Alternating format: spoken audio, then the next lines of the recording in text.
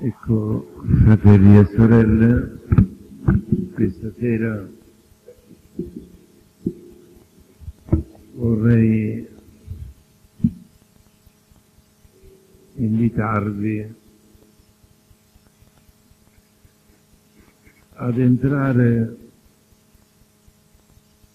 nel mondo della preghiera liturgica, che può essere anche preghiera privata. Noi abbiamo un bellissimo libro, il libro dei Salmi, che è il libro della guarigione, cioè leggendo i salmi si guarisce. Ci sono tanti mezzi spirituali dati da Dio per guarire. Uno di questi mezzi è la recita o il canto dei salmi, si guarisce da tutte le malattie soprattutto delle malattie interne, delle malattie spirituali, delle malattie psichiche e talvolta anche delle malattie fisiche, per quella forza interiore che si sprigiona dei salmi, i quali salmi contengono Cristo. Cristo è contenuto nei salmi. Tutta la scrittura contiene Cristo, ma soprattutto sono i salmi che contengono Cristo. Ecco qui si tratta di una lettura dei salmi che va fatta in chiave cristica non soltanto in chiave letterale. Ed è opera dello Spirito Santo che a prescindere dalla comprensione o meno che noi abbiamo dei versetti del Salmo, opera attraverso la recita del Salmo dentro di noi per la presenza di Cristo in tutti i versetti del Salmo.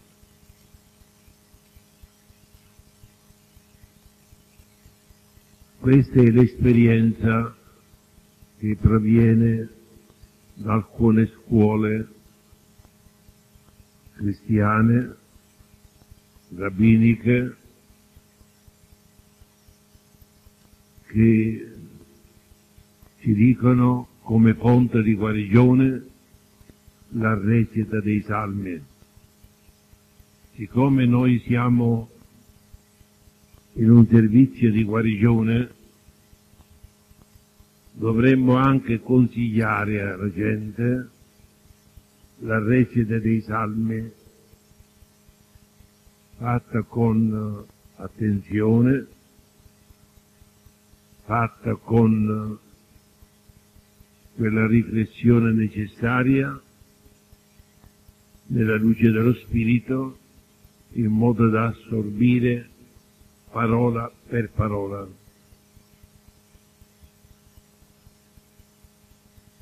Qui ho davanti il commento al primo salmo, piccolo piccolo, un libro.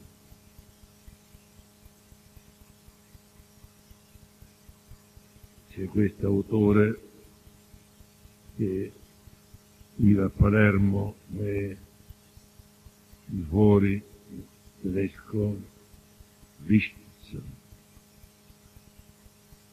svizzero credo che sia, svizzero, che appartiene alle,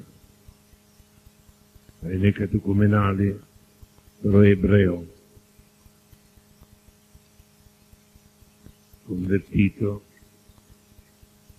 che sta facendo il commento a tutti i 50 salmi per cui saranno un 150 volumi più. Comunque a noi non interessa e non potremmo mai seguire perché secondo tutte le fonti ebraiche, patristiche, che egli si ferma ad ogni parola. Noi non ci possiamo fermare ad ogni parola, però vogliamo noi deribare i salmi,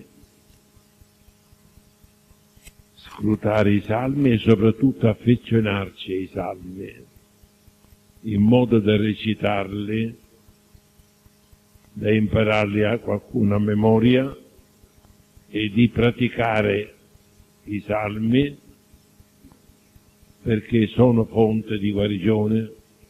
Qui abbiamo la nostra sorella che è la salmista noi la chiamiamo perché il Signore le ha dato il dono di affezionarsi ai salmi e tante di questi salmi sa a memoria soltanto, ma li propone, li recita con tanta unzione, per cui il cuore viene riempito di gioia e c'è una forma di guarigione interiore quando noi assorbiamo il senso del salmo e viviamo il salmo. I salmi vanno cantati perché è nel canto che noi abbiamo una risonanza interiore, soprattutto vanno cantati quando si è insieme, allora acquistano una particolare efficacia guaritrice, ma anche recitati o cantati da solo hanno efficacia guaritrice, tutti i salmi. Però ci sono alcuni salmi in cui c'è una forza di guarigione particolare e questo lo potremo vedere cammin facendo. Quello che voglio sottolineare è che i salmi contengono Cristo. Dai salmi si sprigiona una forza arcana di guarigione e che bisogna prima approfondire il senso del salmo, poi imparare il salmo e poi al momento opportuno recitare con questa, con questa preparazione il salmo, quello che noi crediamo più opportuno nel momento spirituale in cui ci troviamo.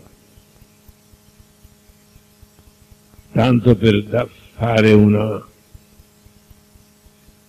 una prima derivazione nel Salmo 1,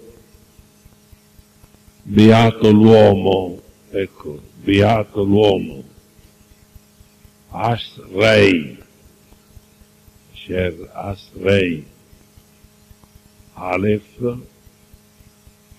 Shin, Rosh, R, I, Astei, Beato. Viene notato che in questo salmo la prima lettera è Aleph, A, sia in ebraico sia in greco e Aleph. L'ultima parola termina con il Tau, con l'ultima parola Omega. Ora Gesù dice io sono l'alfa e l'omega, per cui già in questo salmo, primo salmo, c'è tutto il Cristo, l'alfa e l'omega, l'inizio e la fine, Aleph, Omega e nel centro Cristo.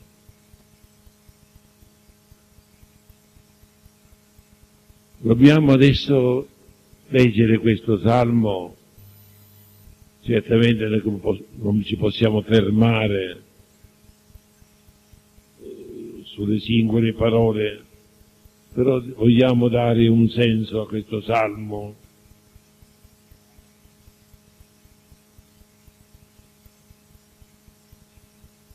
E poi ci fermeremo un poco sui salmi per poter così pregare. Era il libro della preghiera ebraica, era il libro di preghiera di Gesù tutti gli ebrei recitavano i salmi, 150 salmi,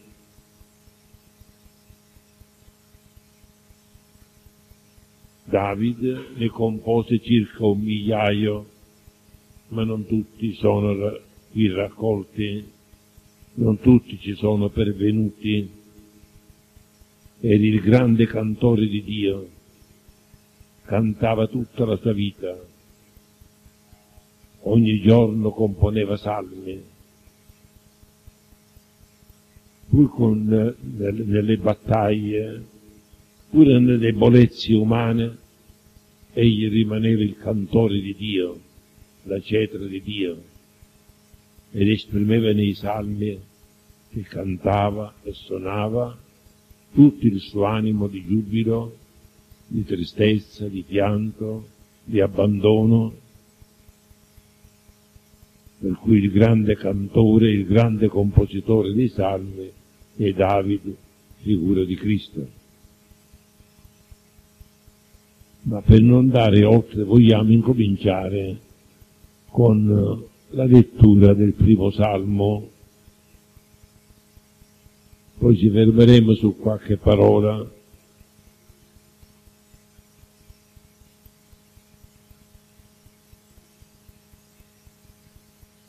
Diciamo subito che il primo salmo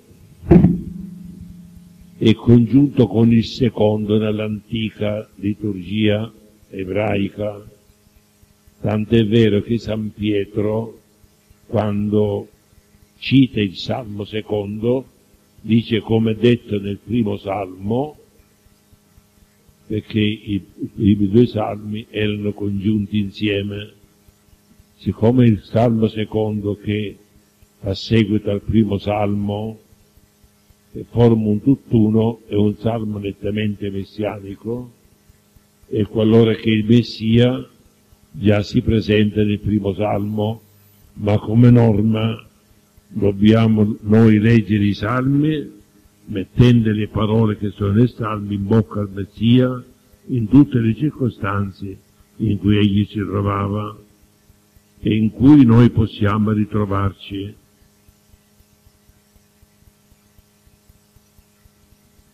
Beato l'uomo che non cammina nel consiglio degli empi, non si ferma nella via dei peccatori e non si siede nel consesso degli schernitori, ma ha il suo diretto nella Torah di Yahweh e nella sua Torah risuona giorno e notte. Egli è come un albero trapiantato lungo corsi di acqua, che dà il suo frutto a suo tempo, e le sue foglie non appasseranno, tutto ciò che fa riuscirà. Non così gli empie, ma come pula che il vento disperde. Perciò non sorgeranno gli empi nel giudizio e i peccatori nell'assemblea dei giusti. Sì, Yahweh conosce la via dei giusti, la via degli empi si perderà. Guardate, in questo salmo c'è una parola chiave via. Ricordate quello che disse Gesù? Io sono la via. La verità è la vita, io sono la via. Nessuno viene al Padre se non per me. C'è la via dei peccatori e la via dei giusti. La via è come la lama di un coltello. Al di qua c'è il mondo dei morti, al di qua il mondo dei morti pure, ma il mondo dei vivi è sulla lama del coltello. Di qua morte, di là morte. La via della vita è sulla lama del coltello. Bisogna camminare sulla lama del coltello. Se si va a destra o si va a sinistra, si cade nel baratro. Ricordate il testo di Isaia?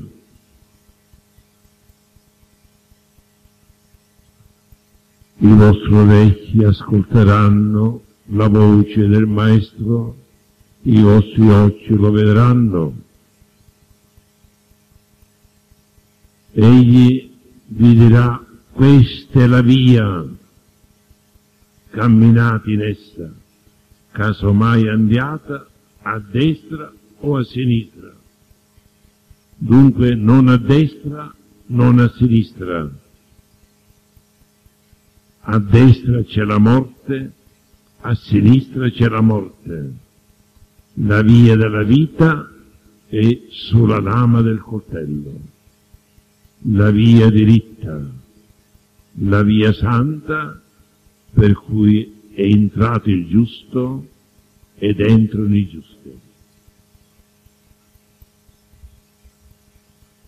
Comunque su questa via che noi fermeremo l'attenzione è una parola chiave che ricorre spesso nella scrittura del Nuovo Testamento come del Vecchio Testamento. La via per gli antichi era molto importante, non c'erano anticamente le strade come ora, né autostrade né superstrada né strade asfaltate, ma c'erano tracciere, c'erano piste e soltanto chi sapeva la via poteva arrivare da un punto all'altro, chi non sapeva la via si sperdeva. Non di indicazioni stradali.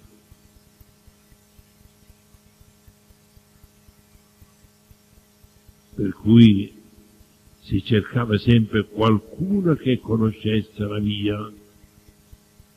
Ricordate quando Tobia doveva andare a Ramses, un paese lontano, allora va in piazza e cerca qualcuno che conosca la via.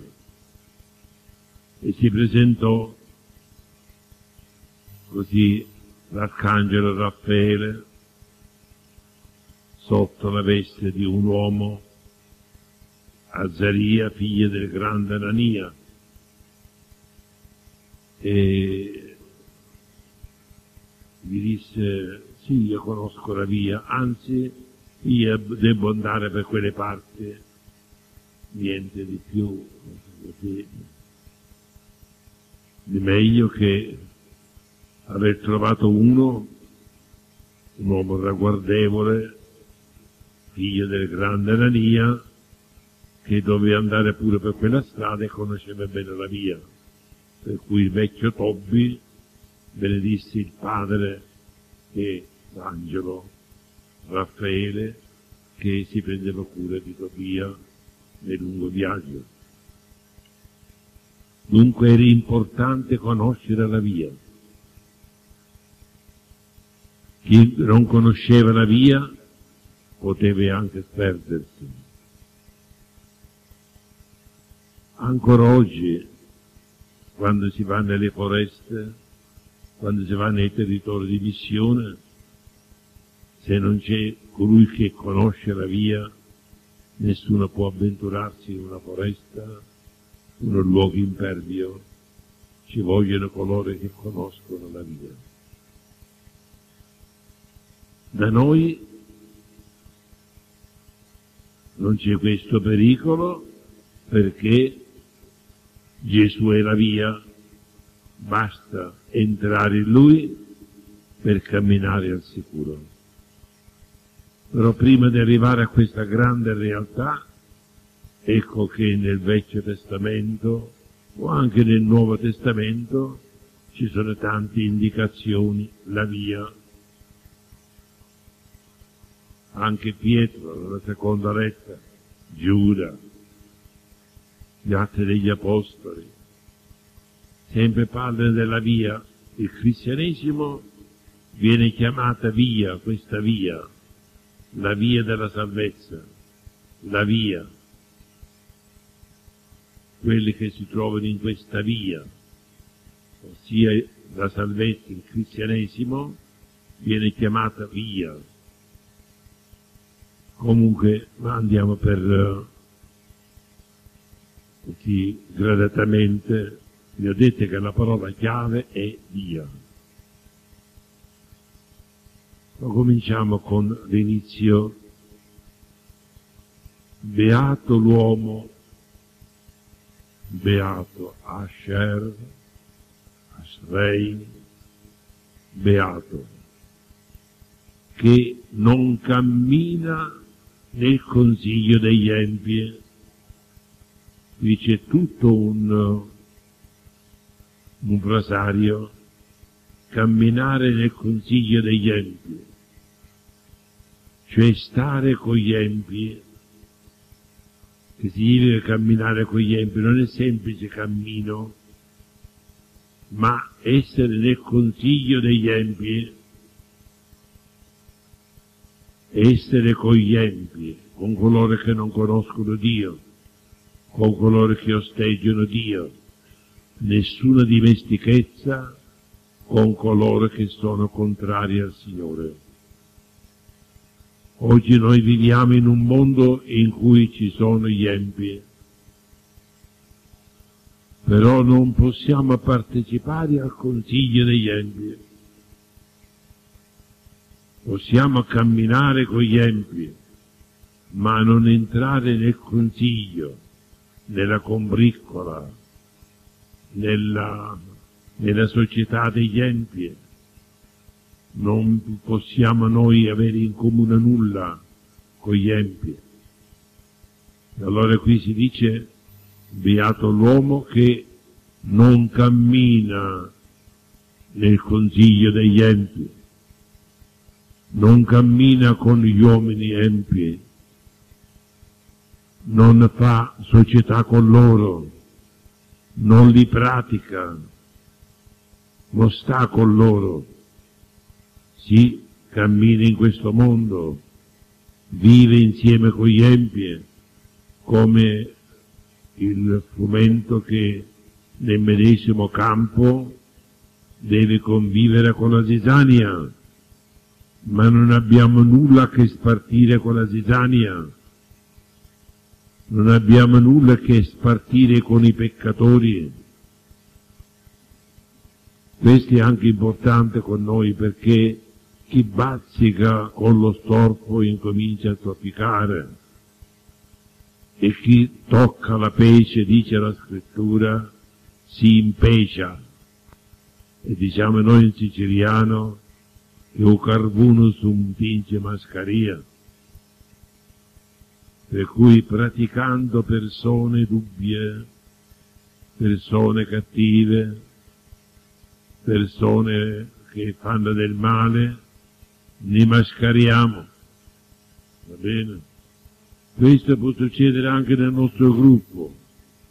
Ci può essere uno che è carbone, uno che è pece, e allora praticando con questo, tutti insieme ne mascariamo, qualche poco di pece la pigliamo, ecco perché bisogna aprire gli occhi e non entrare nel consiglio degli empi, nella combriccola, nella, nell'associazione, nel manipolo, nella,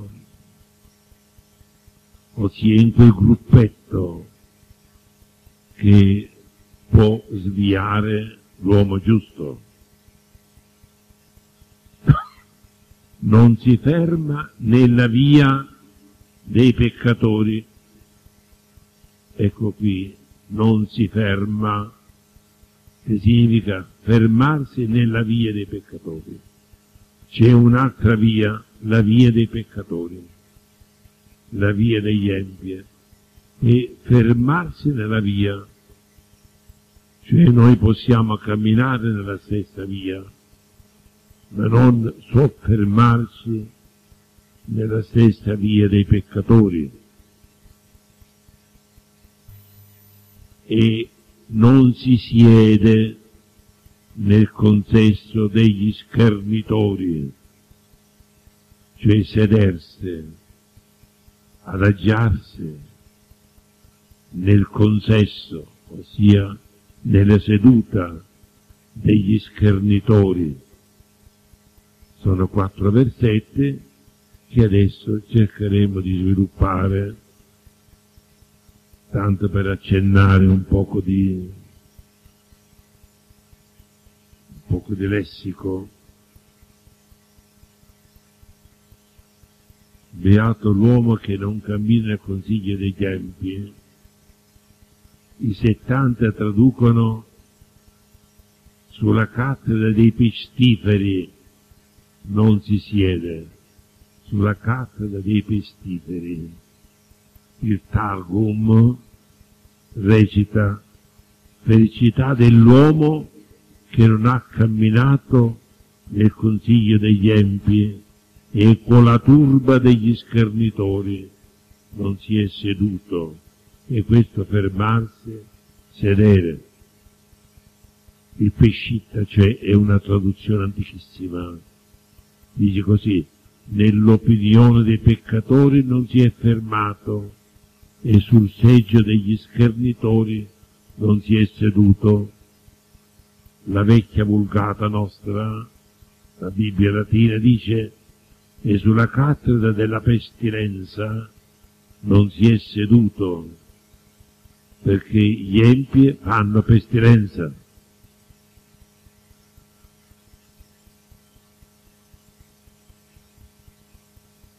Lasciamo stare poi tutti i testi ebraici, il Talmud, Malbim, eccetera, tutti i padri della Chiesa,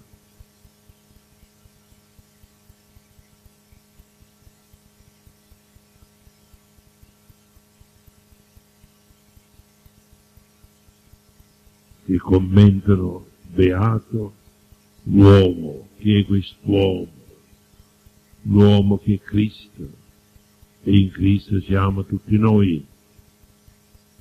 Commentano il fatto di camminare, fermarsi e sedere. Tre parole che sono importanti per noi. Noi possiamo camminare, fermarci e sedere. Ma io mi fermo sempre a quella parola che questa sera vogliamo meditare ed è appunto questo cammino, questa via. Il cristianesimo viene chiamato via,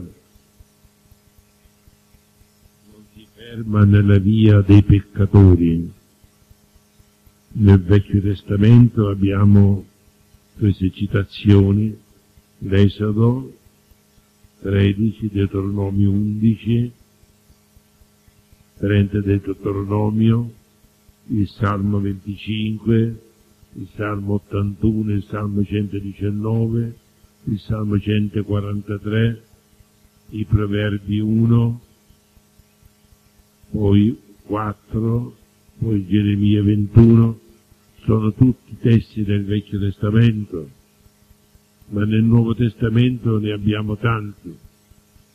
Per esempio Pietro 2.15, Pietro 2.21, gli atti 9-17, gli atti 18-24, primi Corinzi 4-17, secondo di Pietro 2-2, Matteo 7-13, Giovanni 14-3, Corinzi 12-31, Ebrei 10-19, eccetera. Non seguiamo noi questa, tutte queste citazioni, ma vogliamo fermarci su questa parola. Fermarsi, sedere e via. Beato l'uomo che non si ferma, non si ferma con i cattivi e non siede con i cattivi. È un ammonimento per noi. Possiamo anche camminare per la nostra strada quando è comune ai buoni e cattivi, ma non possiamo scegliere il cammino dei cattivi. Non possiamo seguire il cammino tracciato dai cattivi. Tantomeno possiamo fermarci con i cattivi o sedere con i cattivi, perché chiede il Signore, cammina per la strada del Signore, non si ferma con gli empi che ignorano la Torah, la legge, non siede con i malfattori.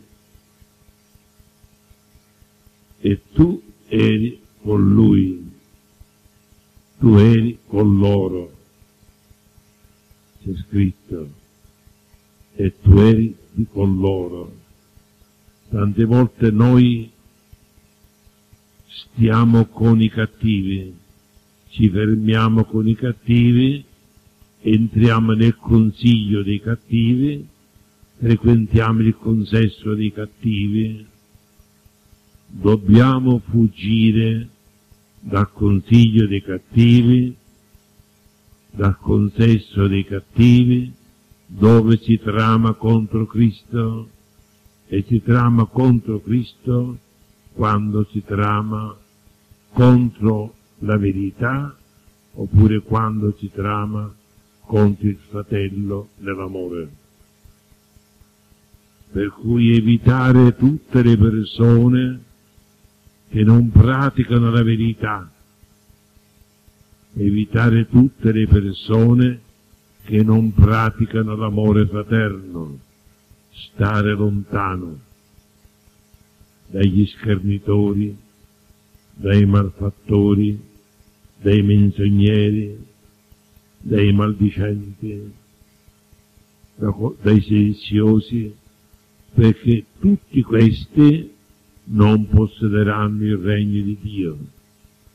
È scritto che nessuno di questi erediterà il regno di Dio, né gli idolatri, né i sodomiti, né i maldicenti, sono messi insieme erediteranno il regno di Dio. Per cui chi siede nel consesso dei maldicenti è come succedesse con i sodomiti, con gli idolatri, ossia con quelli per i quali non c'è l'ingresso nel cielo. E allora evitare il consiglio e il consesso delle persone che vanno lontane da Dio o dalla verità o dall'amore, che portano fuori strada. Ci sono due vie, ricordate Deuteronomio, Dio ha posto davanti all'uomo due vie, la via del bene e la via del male, la via della vita, la via della morte tocca a te scegliere, ma tu Israele hai scelto la via della vita e allora devi camminare in questa via della vita. Per noi cristiani già sappiamo qual è la via della vita ed è Cristo. Lui è la via. Però possiamo anche sbagliare. E allora Gesù ci dice, io sono la via. E in questa via troviamo la verità e la vita. Bastano queste poche parole di introduzione, perché adesso noi apriamo la discussione comunitaria per riflettere comunitariamente sulla parola di Dio. Dobbiamo abituarci a questo scambio di vedute sulla parola del Signore, però col nuovo anno pensiamo di procedere in questa maniera che si dà alla parola del Signore. Per esempio, via, si cita un testo, si fissa una parola, due parole, per esempio in questo caso via, e allora un gruppo di persone studierà la parola, l'approfondirà, poi queste persone riferiranno all'assemblea e insieme si approfondirà questa parola, per cui c'è un arricchimento vicendevole con l'aiuto di coloro che per una settimana hanno studiato su quella parola.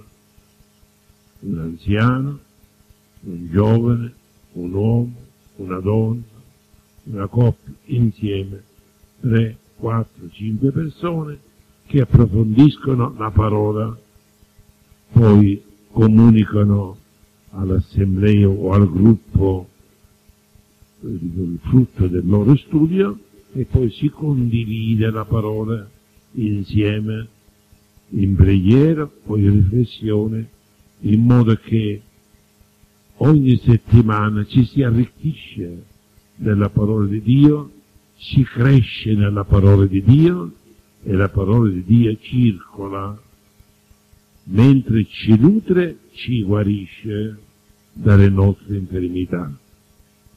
Vorrei ribadire ancora questo concetto, che la recita dei salmi o il canto dei salmi guarisce.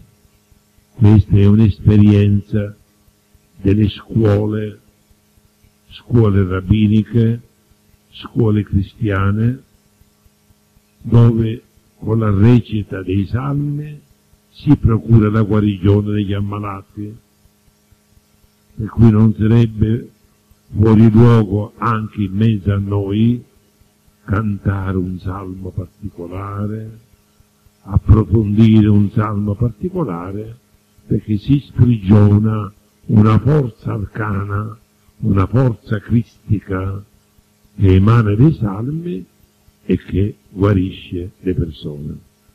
Soprattutto guarisce dalle malattie spirituali, dalle malattie psichiche e anche talvolta delle malattie fisiche. Io per questa mattina, questa sera, ho finito e adesso si apre la discussione. Voglio dire che io prima di fare parte di questo gruppo, quando aprivo la Bibbia e mi veniva il libro dei Salmi, portavo pagina perché non mi piaceva da principio la Grua ha iniziato un corso di conoscenza dei salmi. Io ero presente, lui ha illustrato, ora mi ha fatto battere il cuore, perché ha illustrato proprio il salmo numero uno.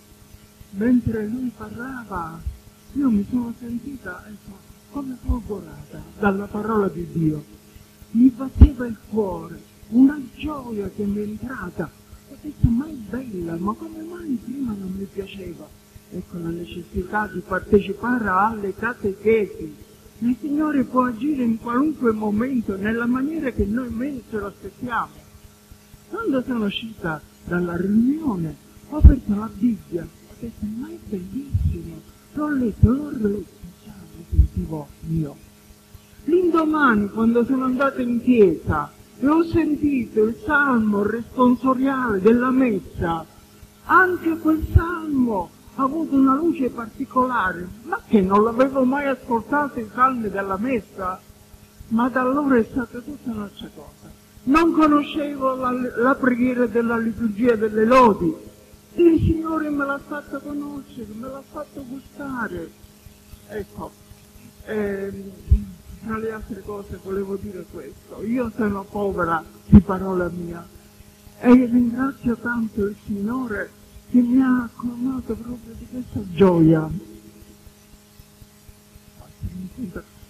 Un salmo che in questo momento mi viene e che mi pare che sia appropriato proprio per la nostra comunità. Sento che è il Salmo 62, che è il Salmo dei carismatici, il Salmo che amano molto il Signore e che nella riunione si sprigiona la lode, la potenza. Ecco, il Salmo dice così. Oh Dio, tu sei il mio Dio, dall'aurora ti cerco, di te ha sete l'anima mia, a te brama la mia carne, come, deser- come terra deserta, arida, senza acqua. Ed ecco, così nel santuario ti sto cercando vuol dire nella comunità ti vado cercando, nei fratelli ti vado cercando per contemplare la tua potenza e la tua gloria. Poiché la tua grazia vale più della mia vita, le mie labbra diranno la tua lode.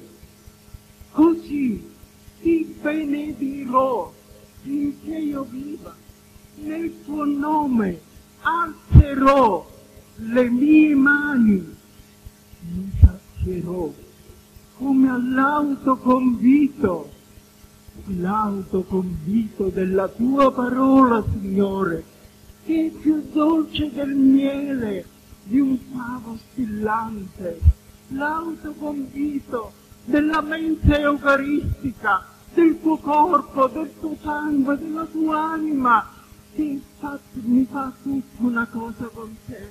E allora a te ti stringe l'anima mia, la forza della tua destra mi sostiene. Io non potrò avere più timore, non potrò vacillare, perché sarò sempre con te. Grazie, Signore.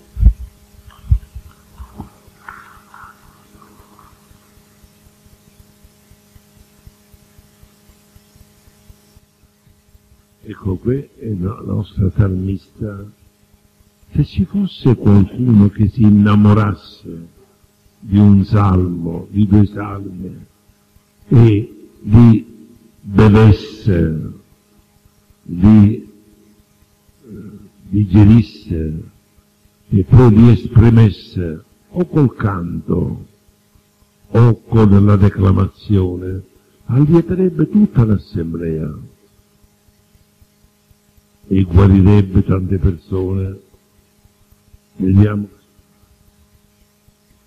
Una domanda, ma nel paradiso le funzioni sono carismatiche o liturgiche? C'è una domanda ignorante, scusate. È una curiosità che ho, non ha a che fare con la catechesi, però ho questa curiosità, cioè nel paradiso per esempio io amo le, le, le, funzioni carismatiche, però perdonate la mia ignoranza, non ho passione per le animazioni liturgiche, non ho questo trasporto. Guarda, la liturgia cos'è? La liturgia è la celebrazione nel mistero della salvezza. Sì, nelle riunioni carismatiche si celebra la salvezza, ma è nella liturgia che si attua la salvezza. Per cui la salvezza nostra viene attuata nella liturgia, dove è Cristo che vive, per cui c'è da preferire sempre l'azione liturgica a qualsiasi altra azione, perché l'azione di Cristo e della Chiesa, sua mistica sposa, è nostra madre. Per liturgia si intende qualunque azione liturgica in cui Cristo opera. Liturgia è la recita o il canto delle ore liturgia è la celebrazione della Santa Messa, liturgia è il sacramento della confessione, della comunione, liturgia è il sacramento del battesimo. Abbiamo tante celebrazioni liturgiche, ma in tutte queste operazioni o azioni liturgiche c'è sempre Cristo questo rientra anche nella nostra formazione. Che cosa succede? Tante persone vengono alla preghiera carismatica, quando c'è poi la preghiera liturgica, la Santa Messa, se ne vanno, scappano. Il senso è mancanza di formazione. Perché la preghiera comunitaria, quella carismatica, prepara la liturgia. Nella liturgia quella parola si incarna e si dà a noi nella comunione. È un tutt'uno. Ora lasciamo la parte migliore. Noi andiamo al pranzo, ci nutriamo del così degli antipasti oppure delle, dei preparativi, dei pizzichini, quando poi incomincia il primo piatto ce ne andiamo e perdiamo il pranzo. Così tanti di noi si nutrono degli stuzzichini, stuzzichini, al massimo qualche antipastino e poi se ne vanno. E, e così restano affamati, non ti nutrono, non ti nutrono della parola che viene proclamata nella liturgia e della parola che si fa carne e diventa cibo per noi. Ecco, io voglio dire questo, a testimonianza della parola e dell'aiuto che viene dai salmi il primo salmo che io ho imparato a memoria e che mi ha dato molto, perché nei momenti così di scoraggiamento, nei momenti di debolezza, nei momenti di paura, così, mi veniva in mente sempre questo salmo, ed è il 23. Il Signore è il mio pastore, non manco di nulla. 22, 23. 22, 23. ma questo salmo per me è stata la mia fortezza, perché mi ha dato coraggio e forza, sempre.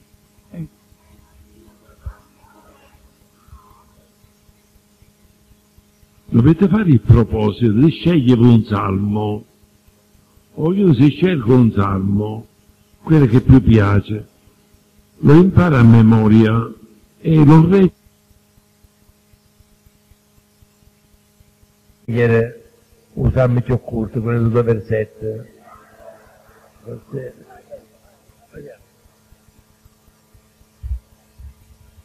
Allora, eh, a proposito di salmi, durante l'effusione io ho recitato un salmo, il salmo 138 che so a memoria.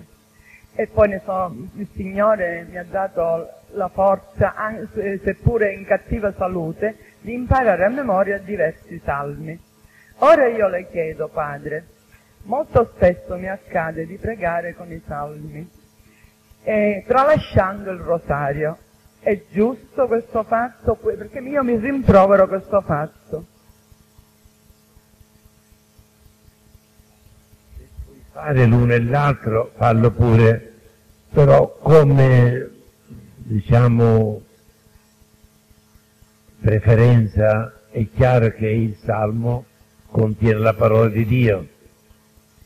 Però siccome c'è una devozione importante e nei, nel, nel rosario noi meditiamo tutto il mistero dell'incarnazione, passione e glorificazione del Signore, certo, se, comunque, però puoi variare, puoi variare, oggi ti dice salme, domani ti dice il rosario, oppure ti dice una porta del rosario e poi ti dice i salme, non farti scrupolo di questo. Scusi Padre Matteo, eh, io certe volte nei salmi ci sono cose imprecatorie, e non le continuo, cosa facciano? I salmi imprecatorie. Imprecatorie. Passa, passa avanti, un noleggio.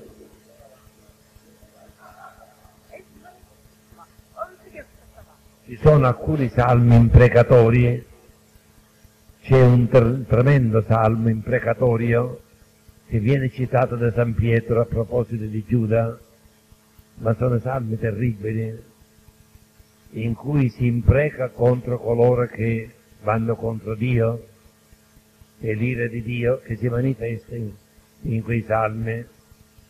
Anche ci sono alcuni salmi che noi recitiamo ma che la parte imprecatoria viene omessa.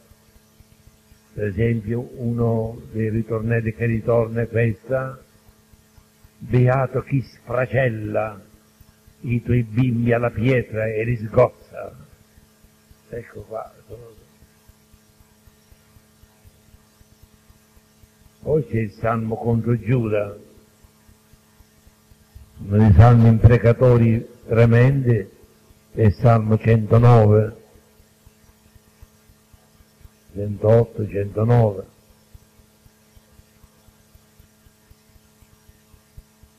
Vedete cosa dice?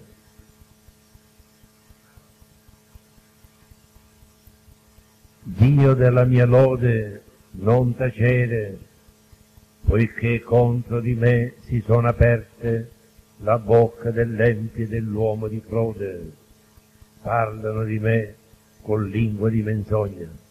Quando uno si vuole sfogare, leggi un salmo.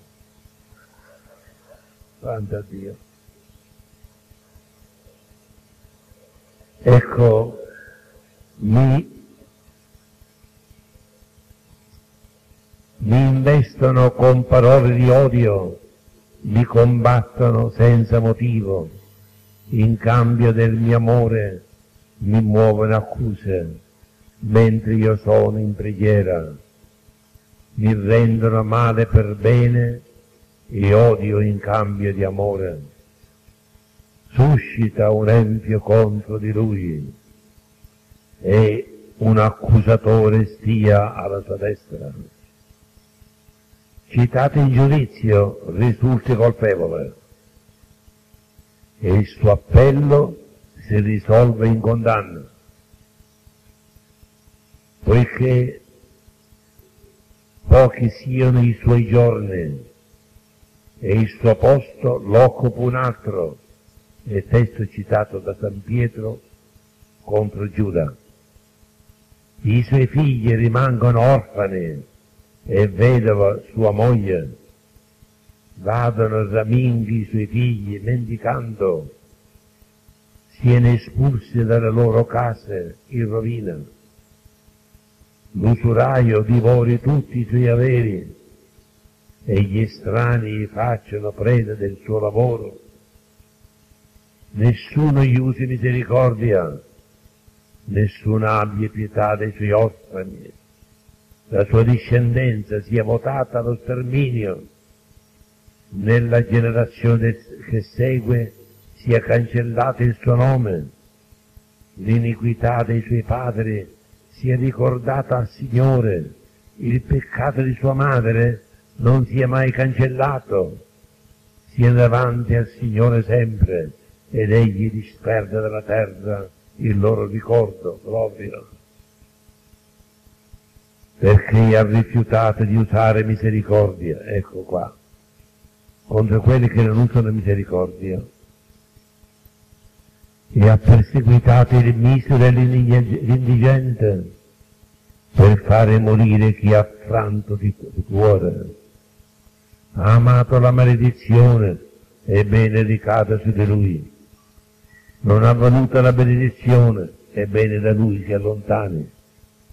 Si è avvolto di maledizione come di un mantello e penetrata come acqua nel suo intimo e comori nelle sue ossa sia per lui come vestito che lo avvolge, come cintura che sempre lo cinge.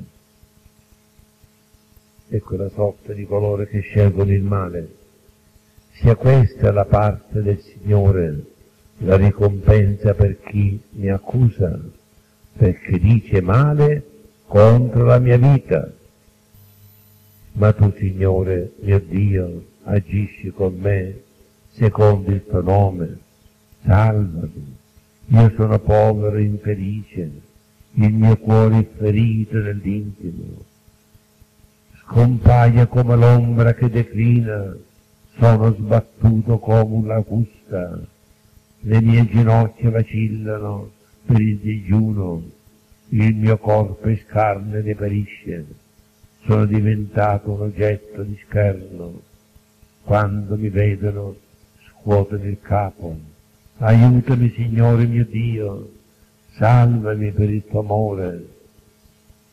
Sappiano che qui c'è la tua mano, tu Signore tu hai fatto questo.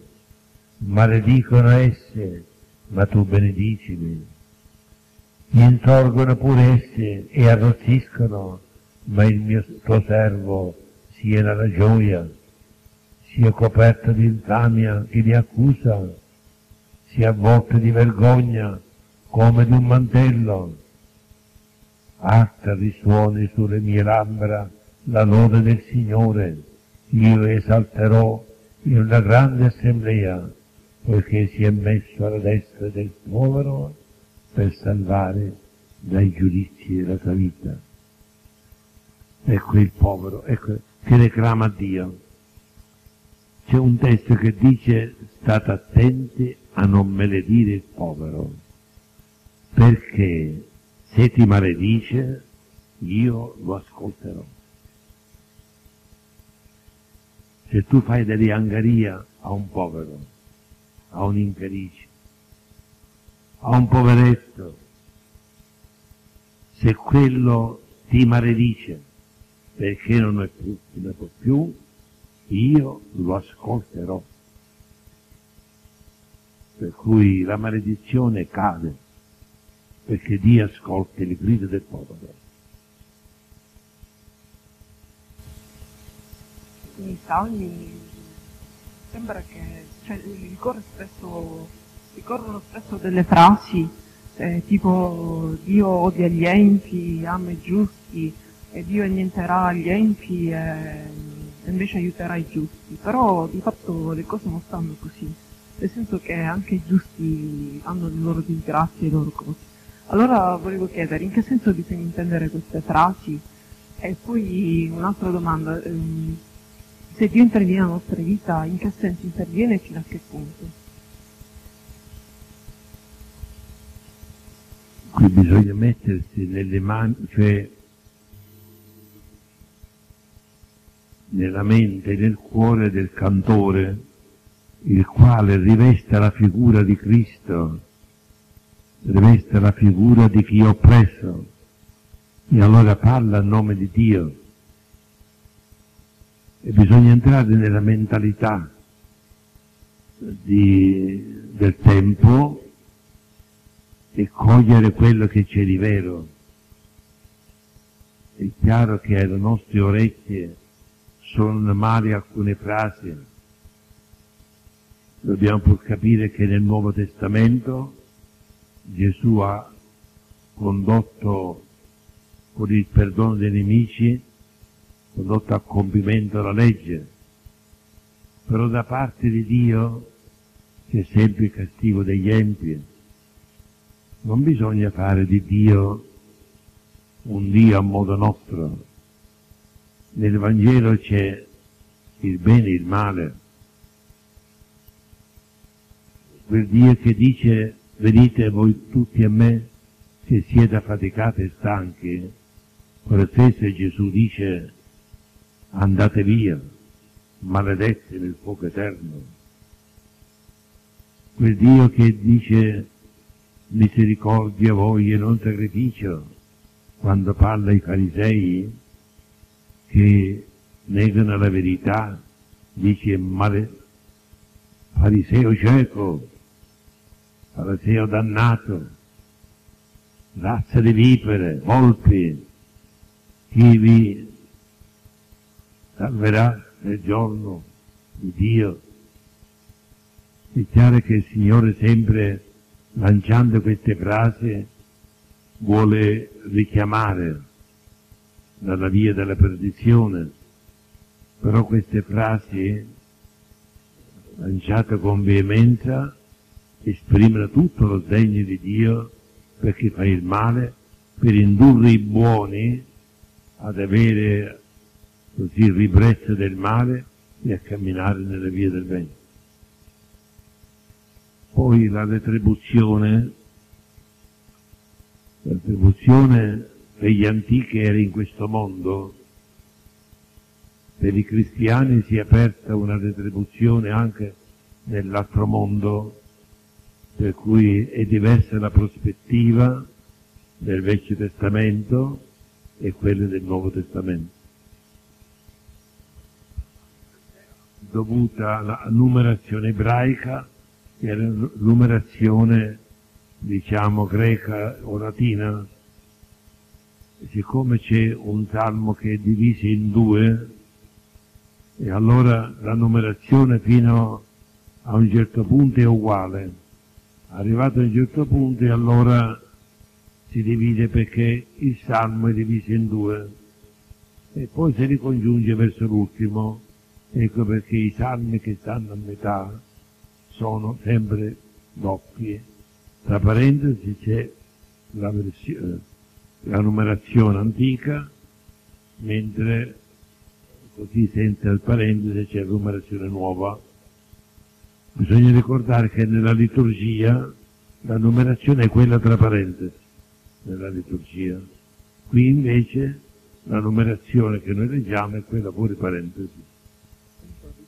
soprattutto dei miei colleghi, perché io spesso e volentieri in qualsiasi cosa si dica o in qualsiasi progetto si pensi, si pensi di attuare, metto sempre la volontà del Signore se il Signore vuole, se il Signore vorrà. Mentre loro, così beffandomi un poco, eh, mi dicono che c'entra il Signore in queste qui, qui il Signore si occuperà in cose più grandi.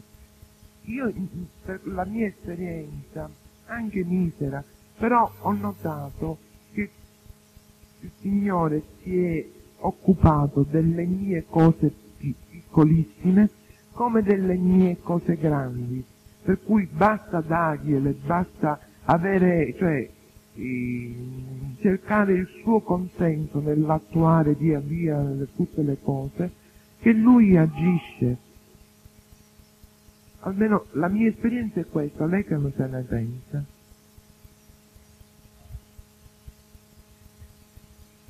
Dice in Giacomo e ora voi che dite, oggi o domani andremo nella tale città e vi passeremo un anno e faremo affari e guadagni, mentre non sapete cosa sarà domani. Ma che mai la vostra vita? Siete come vapore che appare per un istante e poi scompare.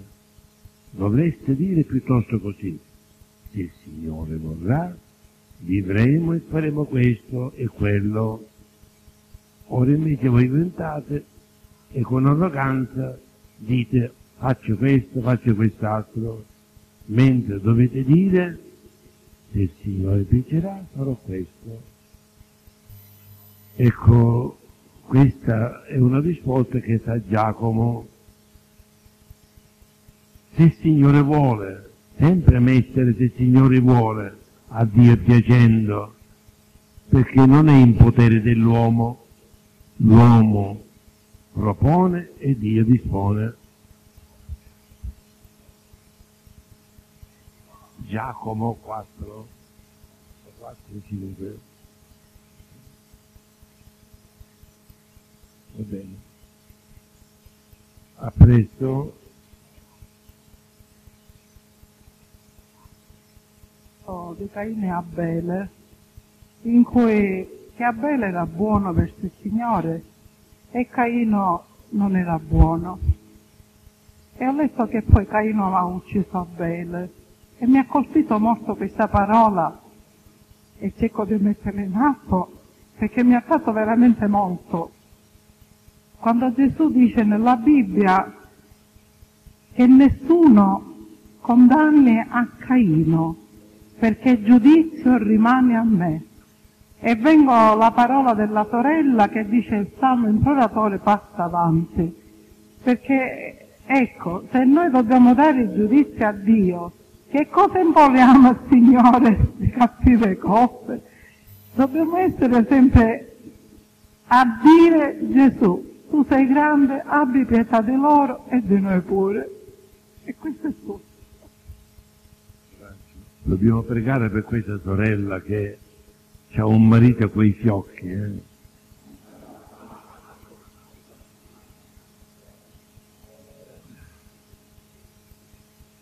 Dobbiamo pregare per questa sorella che sopporta suo marito. Bene, e noi diciamo che non bisogna giudicare nessuno. Quando giudichiamo, non giudichiamo la persona, il giudizio di Dio, ma l'azione sì, non possiamo dire questa è una cosa buona, questa è una cosa cattiva, quando non è buona non è cattiva.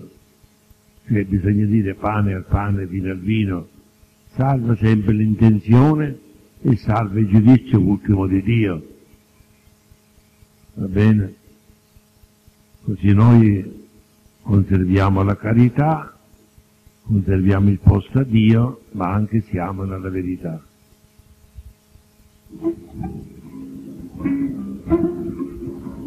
Salvo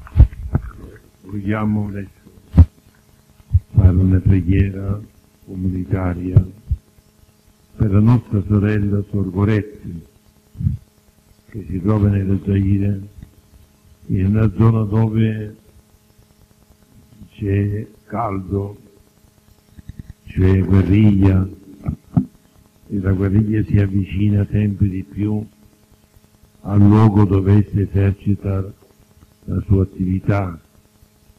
Dobbiamo pregare per la incolumità fisica perché in quel luogo si corre pericolo perché tra le due fazioni c'è guerra, c'è carestia, c'è disordine e può succedere di tutto. Preghiamo per questa nostra sorella che è vicina a noi, insieme con suo papà che è qua, perché il Signore la guardi, la protegga e perché porti un poco di pace in quella regione. Padre nostro,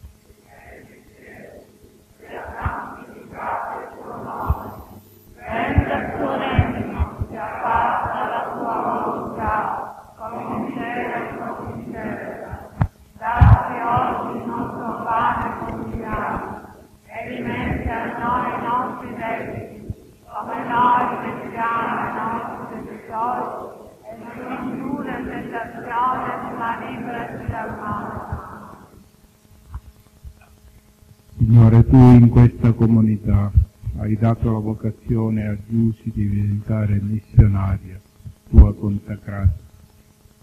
Noi, oh Signore, come comunità madre sentiamo il dovere di pregarti per la sorella che ha rinunziato a ogni attrattiva di questo mondo di benessere per andare incontro ai deboli e ai diseredati.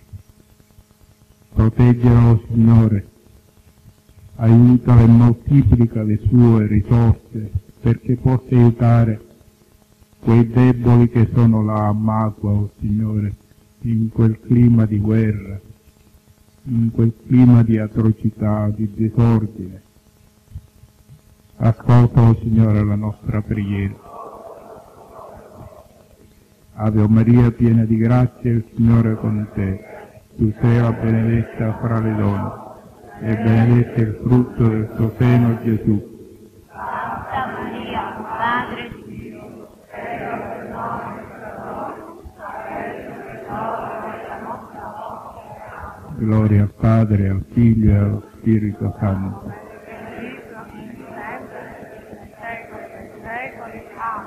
Preghiamo anche i nostri angeli custodi che aiutino l'angelo custode di Suor Maria Goretti Angelo di Dio che sei il mio custode, illumina, custodisci, reggi, governa me, che ti fui affidato dalla pietà.